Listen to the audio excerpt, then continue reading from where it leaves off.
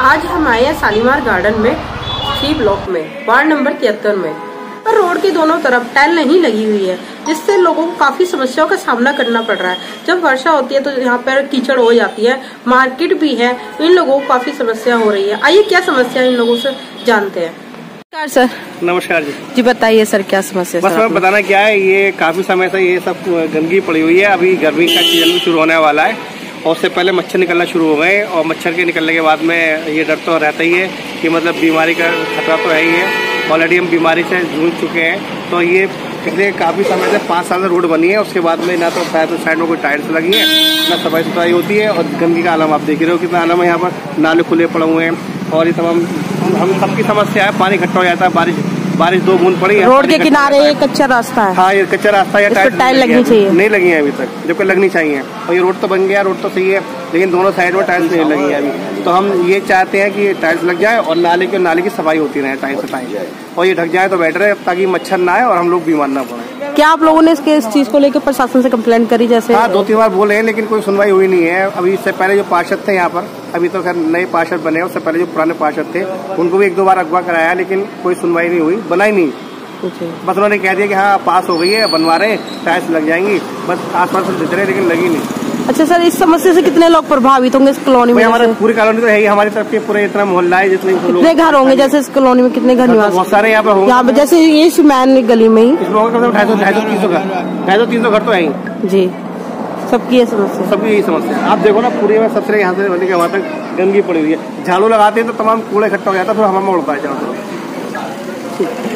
नमस्कार सर। नमस्कार नमस्कार। जी बताइए सर। हाँ, दोनों साइड में टाइल लगनी चाहिए। रोड के जिससे गंदगी ना हो। और लोग लोग आते हैं और ठोकर लग के गिर जाते हैं पानी भरा रहता है स्लिप करता है लोग। तो इस पर टाइल लगना ज़रूरी है। तो हम यही अनुरोध करेंगे शासन से कि टायर लग जाए। सर ये समस्या कब से है सर आप लोग ये बहुत दिनों से है। पाँच छह साल से ही समस्या है। क्या कहना चाहेंगे प्रशासन से कि यहाँ पे प्रशासन से ये है कि बन जाए साफ़ सुथरा हो जाए जल्दी से जल्दी काम हो जाए। जल्दी से जल्दी काम हो जाए।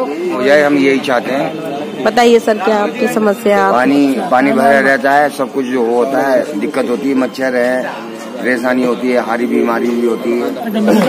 गंदगी है टाइल वाइल बिजली चाहिए। जल्दी से जल्दी काम हो जाए। हम ये चाहते हैं। प्रशासन थैंक यू सर सर।